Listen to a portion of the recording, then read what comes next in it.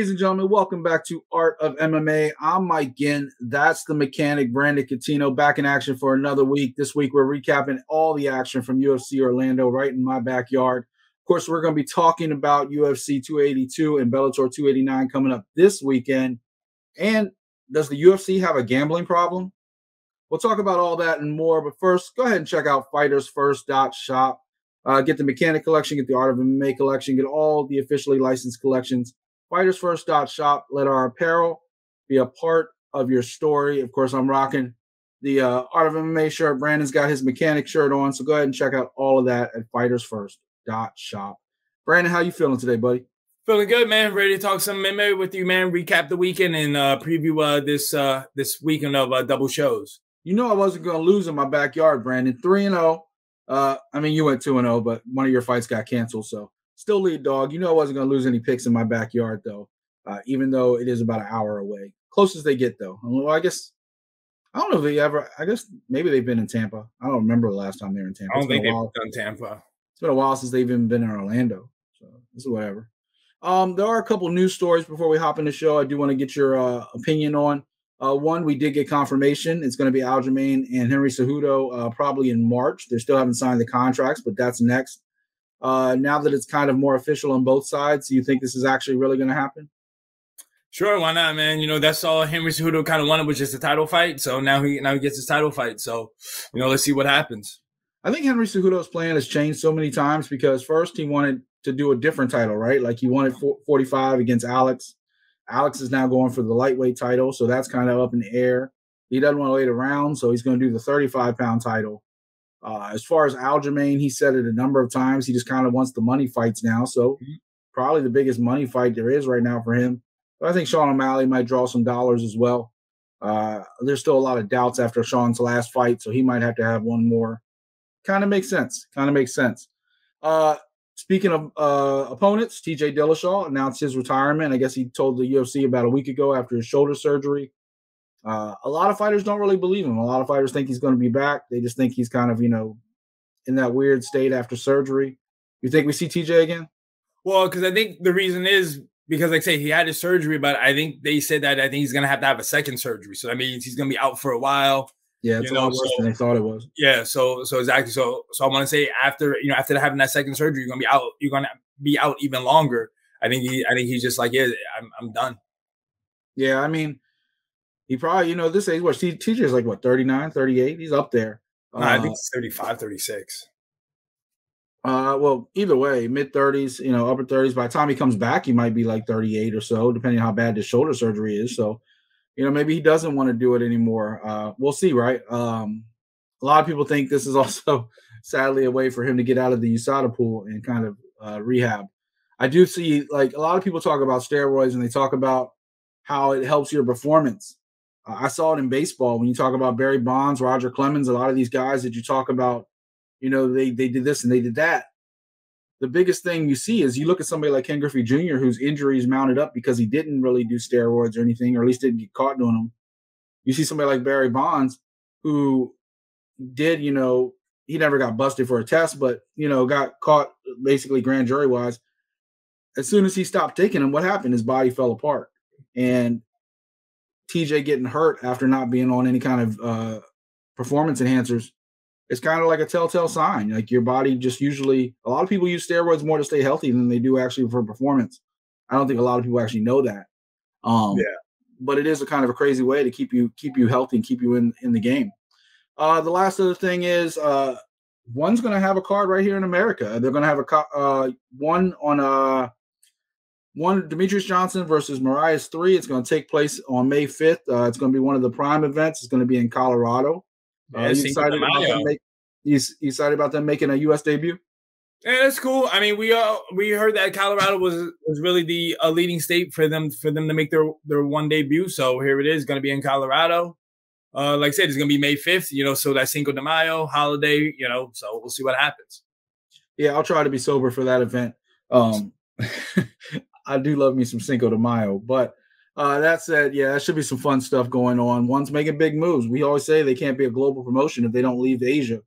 Well, now they are. So the, the competition is definitely getting stiffer uh, as far as UFC and one goes, as well as PFL and Bellator. So a lot of stuff going on in 2023. Uh, Brandon, let's go ahead and jump into this show. UFC Orlando in my backyard, about an hour away. UFC did not give me a press pass, so I watched it on TV with everybody else. Uh, that said, I saw a lot of empty seats there. Maybe if they weren't charging, you know, $250 or whatever it was for the nosebleeds, a lot of people might have showed up. Florida's not a very rich state, people. You gotta you gotta appeal to the masses. But the event itself was fantastic. Wonder Boy and Kevin Holland in the main event. You had Rafael dos Anjos, uh, Matheus Nicolau, uh, Pavlovich with a big event, big uh, big show. Uh, a lot of people talking about it. Let's go ahead and jump into that main event, Brandon. Uh, Stephen Wonderboy Thompson, Kevin Holland went four rounds. Into the fourth round, Kevin Holland's corner stopped it. Uh, tell the people at home what happened in that fight and what you think of it. Yeah, it was uh, karate versus kung fu, and uh, karate got the dub. Uh, remember, when in doubt, always go with karate over kung fu. Uh, it was a, it was a it was a it was a barn burner. Like I Kevin Holland came out strong, like we knew he would.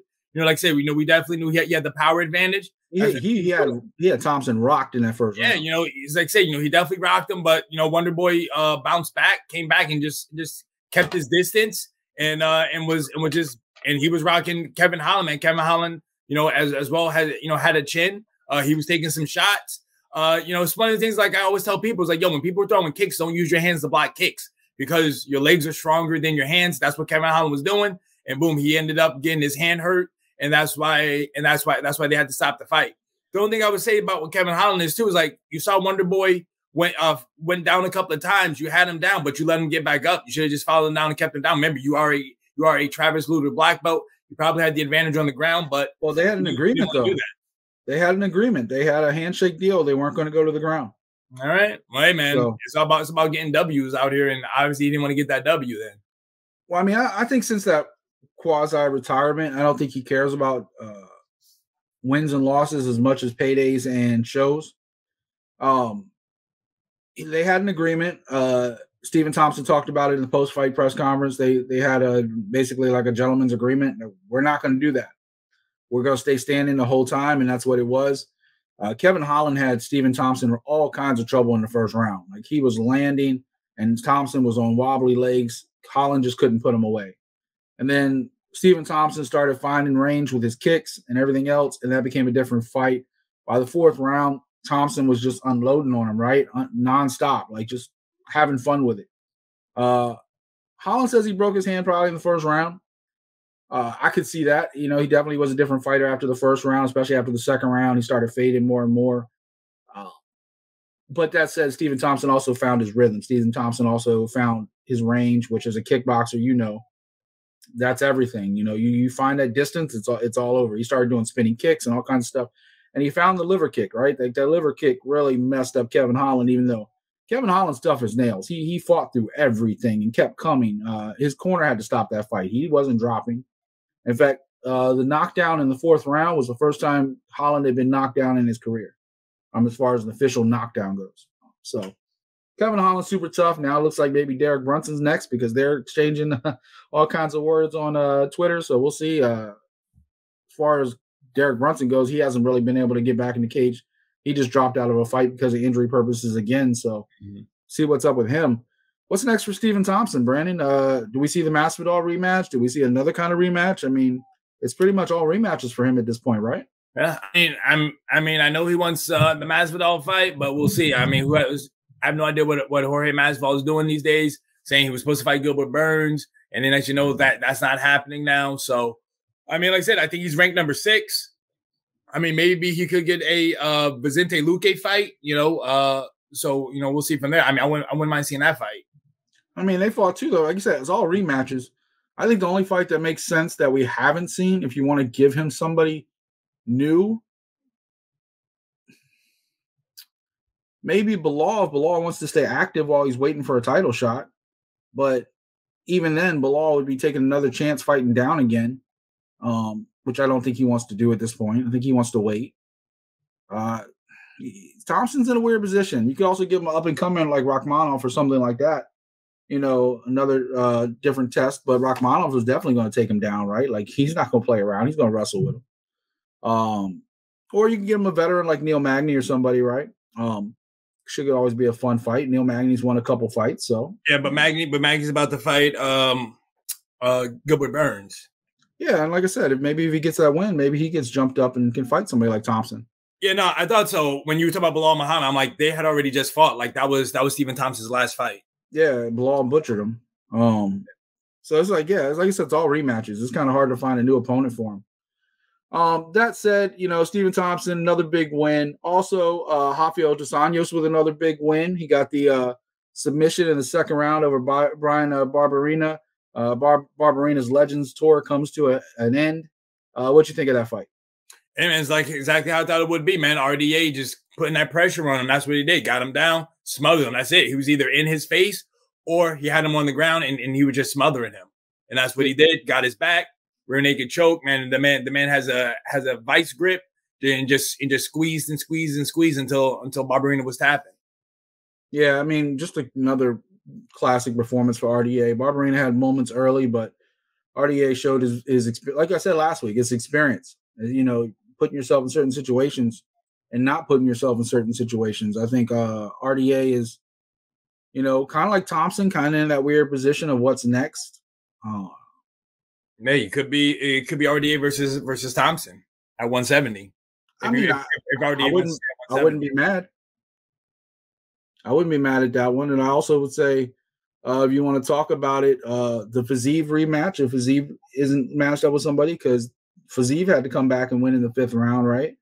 Um, that wouldn't wouldn't be a bad rematch. Or there's always a fun fight in Michael Chandler.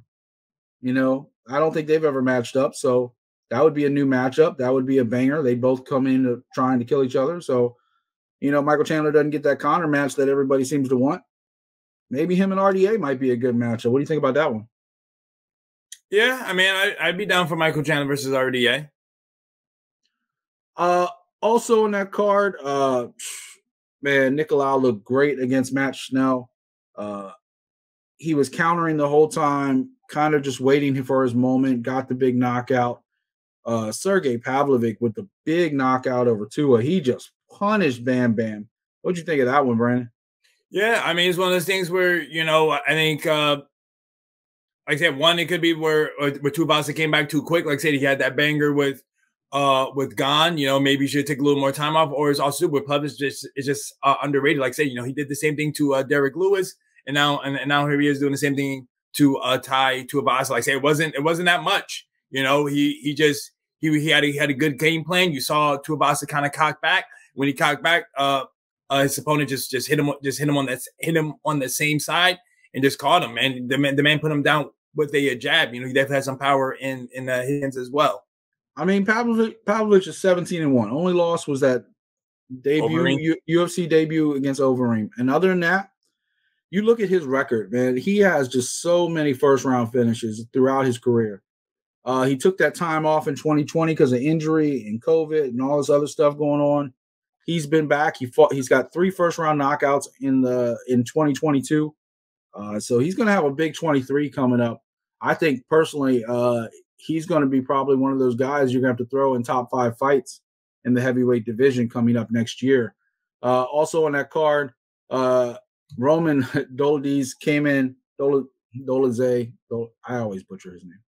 Uh, against Jack Hermansson, came in on late notice and took Jack Hermansson out. Like he showed that his skills on the ground were just as good as Jack's, and his skills on his hands were even better. So big win for Roman. Um, or as Jon Anik said, like the scariest dude he ever had to like talk mm-hmm. to in a in a pre-fight uh, thing. Uh, the pick, the pick you should have made last week, uh, your boy uh, Eryk Anders got the big win over Kyle Daukaus. Kyle is kind of like on the way down. Like he, there was a lot of hype behind him, but lately he's been, he's been getting knocked out. Uh, I mean, I think, I think, I think it's the same thing. Uh, like I just said with Tai Tuivasa, I think little things where like I think he came back too soon, man. Like I said, I think he saying he had he had a broken orbital. I, I mean, he did let it heal, but I mean, so sometimes when with injuries, man, you know, you just got you got to give yourself a little bit more time. Like to me, just seemed with him. I mean, hey, Eryk Anders does hit hard, but it just kind of seemed like with him, man, he got popped, and it was just like it just really like affected him. Yeah, I mean, like Eric said, you know, he's not getting any younger. He needs to make a run, so he had to take this one super serious. Uh, Philip Rowe with a big win over Niko Price. Man, that was a back and forth. That third round alone was back and forth. Uh, of course, Rowe came in overweight. Uh, had to give up part of his purse for this fight, um, but he did get the win. Big knockout in third round.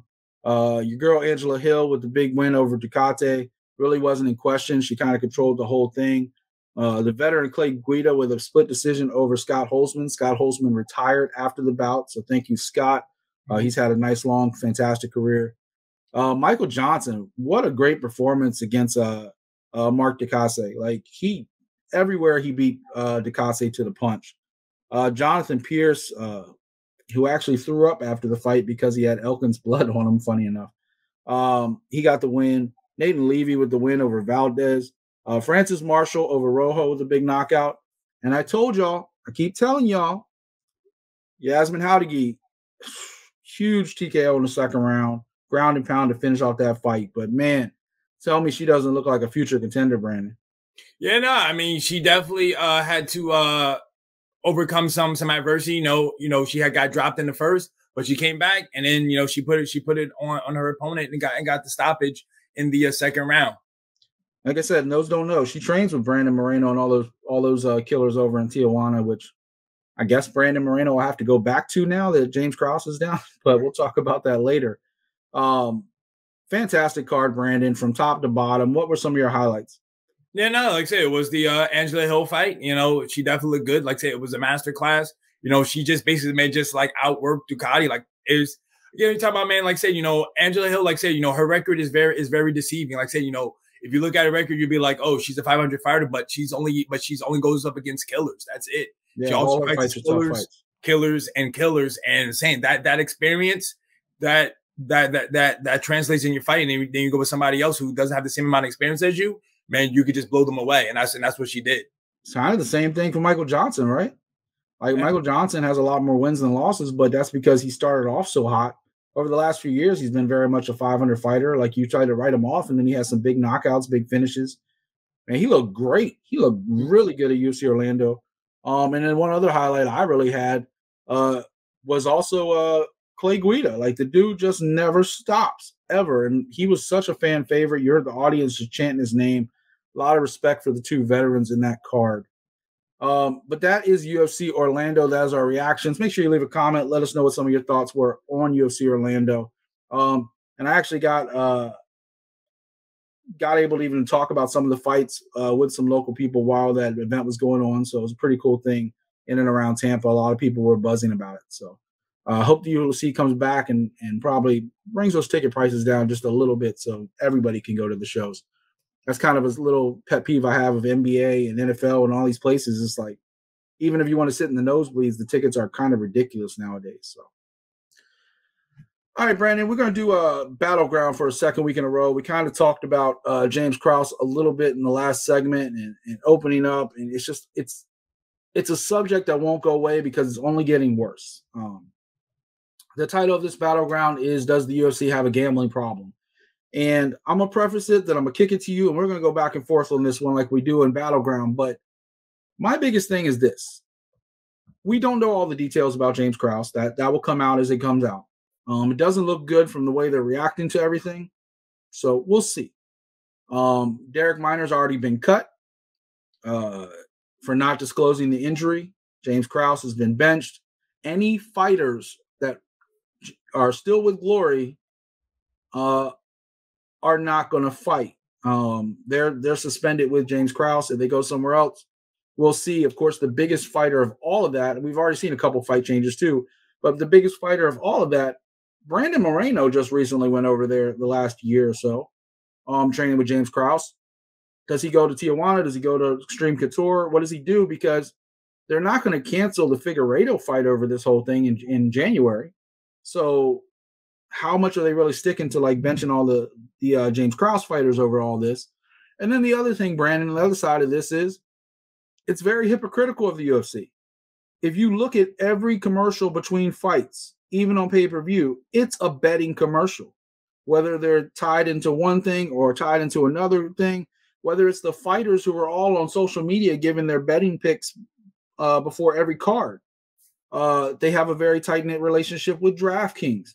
Uh, there's so many gambling aspects of this that how can you we see this with with baseball and Pete Rose. We've seen this with NFL and recently with Calvin Ridley. How do you police this, Brandon? That's kind of the first question. Like, how do you keep your sport honest in a in a when they're headquartered in Las Vegas and have so many gambling ties? And then the other thing I want to ask you is, what do you make of all the other fighters being punished for what James Krause situation is? All right. So one, I mean, I don't. I mean, one just going back to you, I don't see it being hypocritical because it's even they're they're promoting with you know, betting and everything like that. They're just like how the NFL is. You know how that's basically they put it out. We're saying like you yourself cannot bet on the MMA fights. Like that's just how it is. Just like how it is in the NFL. That's why Calvin Ridley got suspended because he was placing bets. They don't want you to do that. You can bets on other sports. You just can't place bets on your sports. And yeah. the thing with James Krause is he's being investigated not by the UFC but by the Athletic Commission, and it's where is where they're worried that either fight fixing is happening or basically insider information is being passed on where he's telling people, and that's why you know what bet bets are being made and stuff like that. So he's being invested. So hence why it's like, well, if you're training in his gym, he might be either saying fight fixing or he might be saying something going on. So basically, all those guys are just going to another to a gym that's like down the road. Uh, from from what I hear, so so they're still in uh uh uh, uh Missouri. Missouri. Um, you know, so so I mean, so they're just being down the road, is just saying like just James Krause just can't be your coach. You know, you got to go with I guess the other coaches and everything like that. Um, I mean, it does it does suck for the fighters, you know that you know that are under James Krause like that. But again, it's it's not it's it's the it's the. I mean, we already see Jeff Molina out of his fight at uh, UFC Vegas 67. He's already yeah. been replaced. Yeah, you know, so I mean, so I'm saying this is this is the athletic commission, you know, um, of Nevada, the one doing the investigation. But then you see, you saw what happened with Canada, with with with uh with uh Ontario, which ba- where where basically they just said, "Hey guys, we just can't bet at all on the UFC because they don't know what's happening in the UFC because they're basically putting the whole thing as a blanket where everybody, you know, could be, you know, could be fight fixing anything like that. Like saying this is just bad for the whole sport because they're because now on is basically like we don't know we don't know who's fixing fights, what's going on, so we're just gonna wait till basically this whole investigation is done with." Yeah, and look, it goes back to a number of things. Like this was a big issue. If you talk about fight fixing we just talked about this not too long ago with Petr Yan and Sean O'Malley in, conspiracy theories and fight fixing. And then when you have something like like people like, oh, you're, you're being exaggerating, like this is 2022, that stuff doesn't happen. And then you see the thing happen with James Krause just a couple, a few weeks later. Uh, and what we don't know what all has happened because it's all kind of still under investigation. But you know, with the Darrick Minner and, and the injury and the way the books kind of jumped, now all of a sudden there's more questions than are answers. And when you look at it, UFC's under the microscope and they're going to take their money. Look, they're a business. The NFL's a business, NBA's a business. They're going to take their money from DraftKings. They're going to take their money from BetUS and all these other different books that are they're throwing money at them and like, here, take my money. Mm-hmm. But then when you actually have a gambling scandal, like it just shows almost the ego of the UFC because – as a business person myself, obviously, fighters first, right here, right? If we got caught doing something wrong, the last thing I would do is have a bunch of ads about that thing. But that just shows they don't they don't really see the connection or they just don't care that they think the fans will care because they're going to keep making their money. But and go ahead. Wait, I was going to say but but what's the difference in the NFL with Calvin Ridley being suspended but you still see they do DraftKings ads, they do FanDuel all the time. There's no difference. There is no difference. It's just as hypocritical. Um, and look, we've been saying the if you, you're a sports fan, you've been claiming the NFL's hypocritical for decades, right? Um, everything from the way they treated domestic violence to now the gambling thing. It's, it's one thing after another, right? It's all about the dollars at the end of the day. But in my mind, how can you not only punish James Krause, but punish fighters like Jeff Molina, uh, they're obviously not going to punish one of their poster boys like Brandon Moreno, but other smaller fighters are going to get caught up in in this crossfire over an investigation that they don't really know exactly what happened. They just know that hey, they didn't tell them the fighter was hurt. Well, guess what? A lot of people didn't know TJ Dillashaw was hurt going into that fight. should his whole camp be sh- shut down? Should all the the Bang Ludwigs and all them be banned? Like, where But where does thing- this end? But the thing is, with TJ Dillashaw, the the the betting lines didn't change. What the what with the fight with Maynard was all of a sudden people people were picking his opponent. You know, like like two hours before the fight, and plus two, a lot of people were picking him to get a finish, which this guy basically isn't known for for you know for uh for uh for a knockouts. So that's where it is. That's where that's where that's where it just becomes a little fishy. While with TJ Dillashaw, everything was kept was was kept under wraps. While with this fight, something, hey, man, the leak was out and everything like that, and and the and the money lines went. You know, same thing with uh with uh Francis Ngannou. You know, word was about his knee, but again, though the betting lines didn't didn't jump like that. You know, where here the betting lines jump, hence why they think somebody either was putting out some information. Somebody tip somebody. Yeah, you know, so that's so that's where it is. I think I want to say if the betting lines didn't jump or change how this one did, everything would be would be the same. But because that happened, and also too the way how the fight went down, then it's like, all right, something seems a little fishy. Let's you know, let's let's investigate that. And again, the other fighters again, it's is it's yes, you are at this gym, does suck, but it's basically like, hey, don't be with James Krause. You just got to go to this other gym, which I hear like they're all going to because they're kind of under the same tree. You know, it's like it's like it's like a sister gym, so they're all training there. So basically, everybody should should still be able to get the fights, unless people are just like, no, James Krause is my coach. I'm right. I'm ride or die with him. Then yeah, all right. Yeah. Like Jeff Molina, yeah. You know, it's going to be a tough situation, but I do find it to be a little hypocritical personally. I think if you're going to sit there and talk about all the gambling stuff nonstop, and then somebody gambles on something, you know, uh, we don't know if James Krause did something or didn't do something. It's just very suspect, like you said, with the betting lines and everything else. Um, I think Darrick Minner might even be like kind of a casualty in this war because he got cut because he was the fighter. When truth Yep. be told, he was hurt. He just kept trying to fight.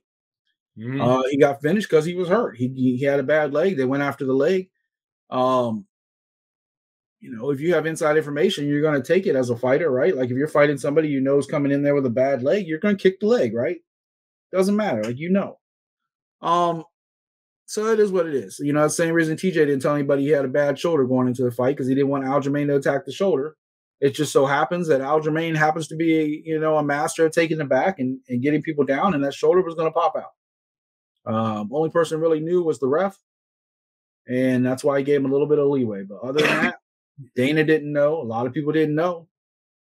So, uh, leave a comment. Let us know. Do you think the UFC has a gambling problem? Do you think, uh, in general, sports has a gambling problem? Let us know. That's uh, definitely something to take a look at. Um, Brandon, before we move on, I do want to mention real quick. One did have a couple great cards last week. Uh, we saw Malykhin just absolutely punish the Ridder to take the title. Uh, Jarred Brooks, former UFC fighter, also got the win with a decision over Joshua Pacio. Uh, a couple great cards there. Uh, one continues to do big things. Um, but we're going to go ahead and make our picks today. It's not all about the UFC. Bellator's in action as well. Big card for Bellator, big card for UFC. Both of them bringing the heat this week. Uh, but we're going to start with Bellator 289. Uh, we got Raufeon Stots going against uh, Danny Sabatello, a fight we've been waiting for. Uh, we also got Liz Carmouche in the rematch against uh, Velasquez. Uh, Brandon, we're going to jump right in that main event. Tell me who you got and why. Uh, I'm going with Raufeon Stots. Uh, to me, man, Danny Sabatello is a wrestler. That's all he has is his wrestling. I think Stots. I think Stots will be able to to to stop. You know, to stop him to keep the fight standing up. And the fight standing up, I got Stots, better striker, got the hands, got you know he has the he has the he has the kicks as well as you saw with his fight uh with um He, um, are you talking about his last uh, Archuleta? yeah Archuleta. You know that's what he did. He caught him with a kick. Uh, you know, Sorry, I was head. looking at Teller's page for a second. Sorry. Yeah. So yeah. So so so that's why that's why I'm going I'm going with Stots. you know, up until the last couple fights, I think the level of competition was about the same. But this time, I think you're looking at it. I think Stots has fought tougher dudes, and Sabatello, uh, Higo's probably the toughest guy he's ever fought, and he ran through through Higo. But Sabatello just ran through the former champion Archuleta. He ran through Magomedov, uh, and then before that, you know, he's been fighting a bunch of up and comers. But I like Stots a lot in this fight. I think Stots has a more well rounded game. Uh, I can't wait to see Sergio Pettis come back. And after this Grand Prix, him and Pettis kind of get it on if, if he's still champion at that point. Um, the only problem I have is that Stots keeps calling himself world champion instead of interim champion. But, you know, we'll settle that when the time is right. Uh, I think Stots just has more tools in the shed. Like you said, uh, Sabatello's a one trick pony. He did show some good striking against Higo uh, to set up his takedowns, to set up his uh, in and outs, uh, to kind of dominate that fight. But if you play games on the feet, I think Stots is going to hurt you. And if you want to wrestle, you're talking about another All American level wrestler. So um, I'm going to go ahead and take Stots in this one uh, over Sabatello as well. Uh, over in the co-main event, we got a rematch for the women's flyweight title. Liz Carmouche, who, man, what a story, right, Brandon? Like always a contender, never quite got over that hump. Finally got the belt um, late in her career. Juliana Velasquez, her first loss ever, gets the rematch. Uh, what happens in the rematch, Brandon? Uh, I'm going with Liz Carmouche. Uh, again, I picked her the first time. I'm going to pick her the second time. Like I said, I think I am Gorilla's man, just going to be stronger.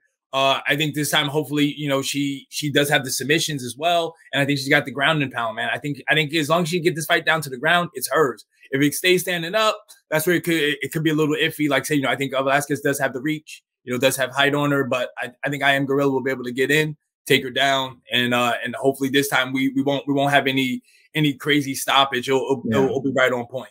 Yeah, I mean, I don't think. Look, I don't think the last one was a bad stoppage. I just don't. I think Liz got the win. I think Velasquez wasn't going anywhere. She was stuck. She was in a position. She was stuck. Um, Brandon, I'm gonna throw one more pick at you this week uh, because I didn't put it in the rundown, but it is the other side of the bantamweight uh, Grand Prix. Magomedov versus Patchy Mix. Uh, Patchy Mix had a big performance last time. Magomedov's been dominant. Who you got in this one, buddy? I mean, man, I would like Patchy Mix. I want to, I want to, I want to root for Patchy Mix, but I just think, I just think Magomedov is gonna is gonna be too much for him. Uh, like I said, I mean, you know, my, uh, Patchy Mix is kind of like it's kind of like Aljamain Sterling, man. He needs to take your back, but I think Magomedov can do it all. He can he can take your back, or he can just use his wrestling, stay in front of you, ground and pound, has submissions, has striking as well. So I think I, I think it, I think it's gonna be Stots versus uh Magomedov in the finals. I actually uh I was I went against you the last time when you picked Horiguchi against Patchy Mix. I'm picking Patchy Mix again. Um, I do know Magomedov is super tough. I've always been a big fan of his. His only losses are to Stots and back in the day to Petr Yan. Like this dude has run through everybody. But that said, Patchy Mix only has one loss. Patchy Mix just ran through Horiguchi and has been very dominant as of late. And he's showing more on his feet. Like he's showing more with his hands lately that Horiguchi thing, he did a lot setting it up on his feet. So um, I'm going to go ahead and take Patchy Mix again. And plus, I think Patchy Mix versus Stots in a, in a final, I think would be fire. I think that's just going to be like must see TV, a lot of fireworks and a good fight. So we'll see if we get there, Brandon. But I'm taking Patchy Mix in that one. Uh, what's the other fight you want to take a look at on this card tonight? Uh, the my fight pick is actually also two on the main card. I'm going with uh, Dalton Rosta versus uh, Anthony Adams. Dalton Rosta, undefeated fighter, fights down in uh, fights out of um, uh, American Top Team. Uh, I mean, dude, he's been he's been on he's he's been he's been uh, doing his thing. You know, say another another up and coming, another prospect that Bellator has uh, has really been showcasing, and I think this is gonna be another W for him. Yeah, I mean, he lo- looks fantastic. Uh, I can't believe I still can't believe you didn't take Denise Kielholtz in this in this uh on this fight card. Yeah, I know, I know. Got to switch it up on you. Man, I know that had to hurt your soul a little bit. Um, my fight pick is another dude that's been dominant, Cody Law. Cody Law has been destroying people, first, second round finishes left and right since he got to Bellator. He's fighting a tough fighter in uh, Link, Link Yoshi, but or Kenoshi, but man, I, I just think Cody Law all day. Um, until somebody proves me otherwise. This guy is just going through. He's like kind of has that Rory MacDonald thing. Wears the suit, the tie, kind of like that natural born killer thing. Um, man, Cody Law is, a, is trouble in that featherweight division, which is already packed. Like you know, the featherweight division is already stacked in, in Bellator, so uh, that that's a fun thing to see. I think Cody Law is going to be contending before too long. Uh, also on the card, like I mentioned, Denise Kielholtz, she's going to be going against uh, Joanne. Uh, we got Kyle Crutchmer uh, against w- Jaleel Willis. That's going to be a hell of a fight. Uh, Kevin Bohm versus Kai Kamaka. Uh, you got Mark Lemminger versus Michael Lombardo. Pat Downey versus uh, uh, Christian uh, Eccles. Uh, you got Cass Bell versus Jared Scoggins, Randy Field versus Christina Katsikis. I always always butcher that one. And then somebody I just picked recently came came right back. Lucas Brennan's fighting again already against Dre Miley, uh, the one-eyed dragon, uh, which is always a good story to root for. But I don't think I don't think he really has too much of a shot against Lucas Brennan. Um, surprised to see. Are you surprised to see Lucas bounce back so quick? He just fought like two weeks ago. No, remember his fight didn't happen. It got canceled. Oh, you're right. You're right. That was my fight pick that got canceled. You're absolutely yep. right. All right, well, then it makes sense, I guess. Um, I'm actually surprised. Like, I love Dre Miley's story. I'm surprised he gets sanctioned uh, to fight. You know, we talked about some of your uh, issues with athletic commissions. Uh, I'm surprised Connecticut uh, will license him, but he's a hell of a fighter and he deserves the opportunity. Uh, but he does have division problems, obviously, with the one eye. But then again, we saw Michael Bisping with with uh, one eye do pretty big things in the UFC. So we'll see. Uh, before we move on, any other highlights on that card you think people need to take a look at? Yeah, no, I mean, uh, you already mentioned it, but Pat Downey's definitely got to, to keep to keep your eyes on. You know, saying uh, he's one and zero, oh, uh, and uh, let's see what he does. Like say he's known as a wrestler and everything like that, but I think uh, his last fight, I mean, he was he was quick, he was quick with it. So we'll see. You know, he could be like Bo Nickal. Yeah, I was about to say everybody's talking about Bo Nickal. Don't don't sleep on Pat Downey. Yep. Um, he has definitely got the same pedigree as Bo Nickal and, and probably uh, just as well rounded. I think Bo Nickal is maybe just a touch touch better, but I mean they both both could be big stars really quickly. Uh, we're gonna move on. Uh, last card to talk about of the day: UFC 282 uh, pay per view. Uh, the whole main event got switched out when uh, Yuri had to give up his title. Glover didn't want to fight either of the other guys on short notice. So here we are, Jan Blachowicz versus Magomed Ankalaev for the uh, light heavyweight title. We also got Paddy Pimblett and Jared Gordon in the co-main event. Um, and then a, a, number of other fights have kind of changed up or been what they are, but we got a stack card as well. Uh, Brandon, let's go ahead and jump into that main event. Uh, who is going to be the new, not interim, but the new UFC light heavyweight champion? Uh, I'm going to go with uh, Ankalaev. Uh, I think he's going to be able to take Jan down, control him, ground and pound, maybe even get a submission on. Uh, like I said, I, I mean, I think, I think, of course, of course, we all know about Polish power. Jan, you know, Jan doesn't got the power, but the thing is, though, can he can he keep the fight standing up? And I just don't think he can. I think Ankalaev can just control him and just and just smother him. The only trouble I, I see for Ankalaev is that his only loss is Paul Craig, who wrapped him up like a pretzel and made him tap out. Whereas Jan, Jan's not afraid to take you down and lay on you and do certain things if he can take you down as well. I don't know if these both men will try to stay standing or if this will be a wrestling contest. It could go either way.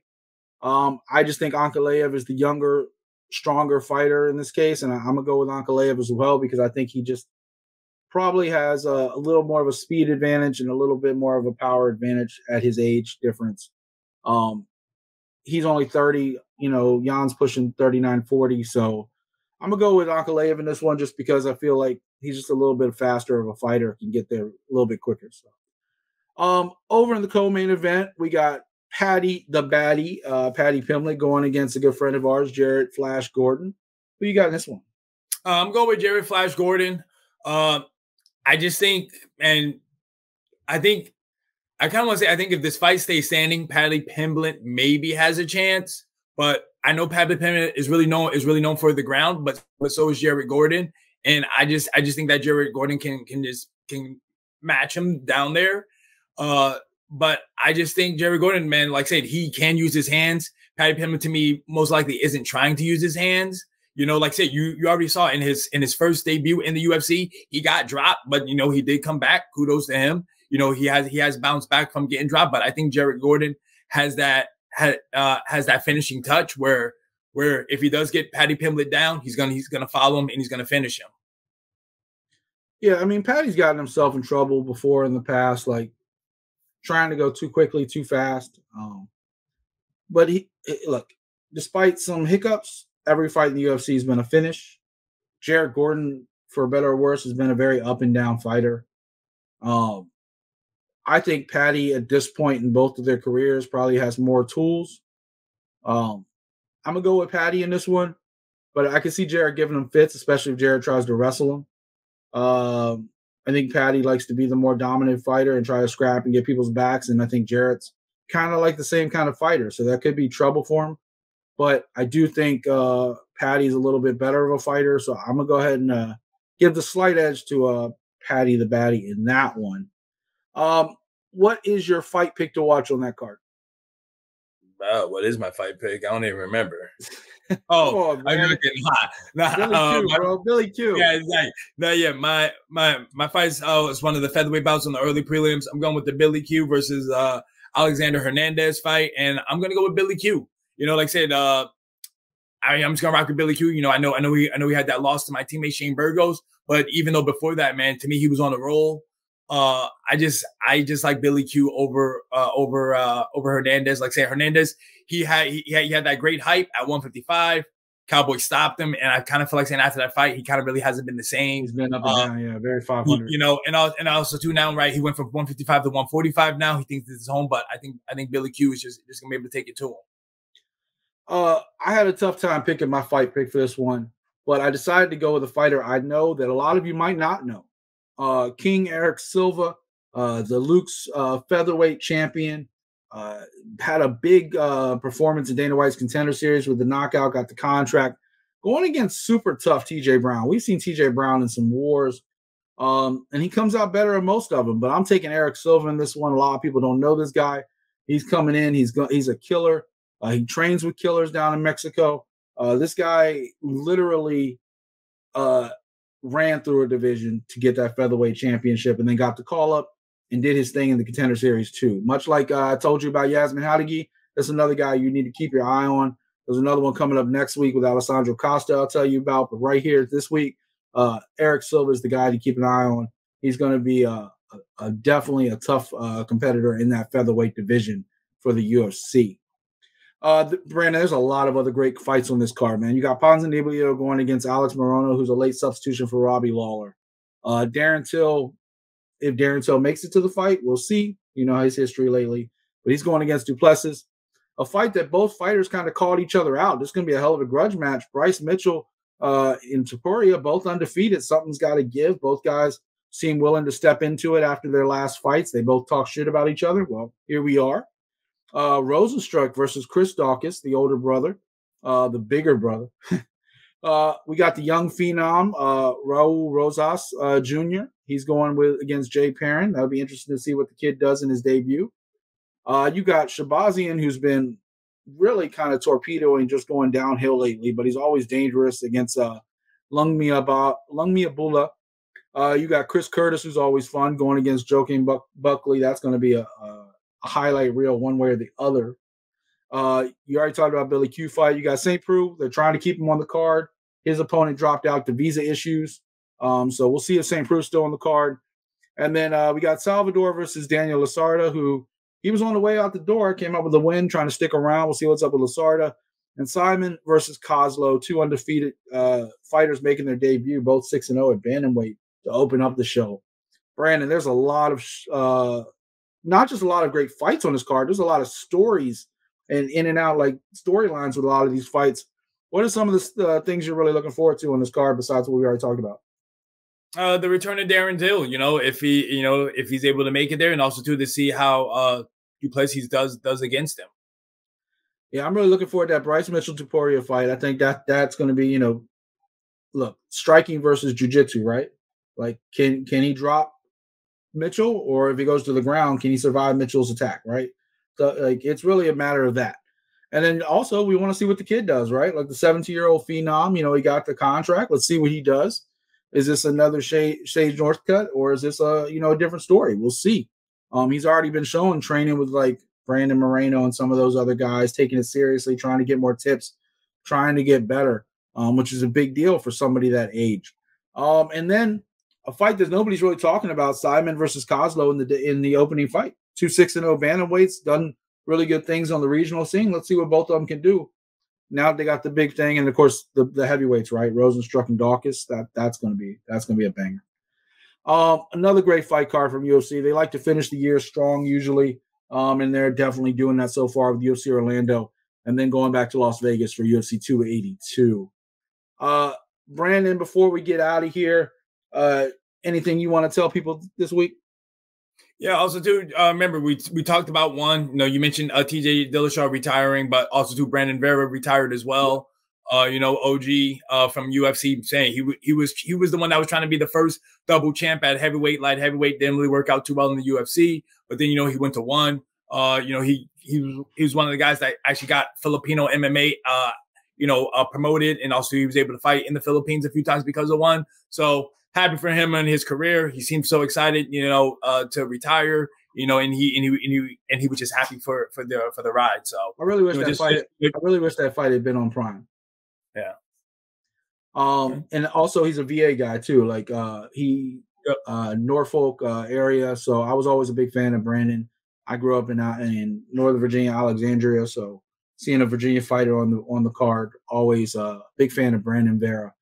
Uh, so congrats to the the truth, Brandon Vera. Uh, good luck in the next chapter. I think he's going to do some more behind the scenes stuff with uh, one as well.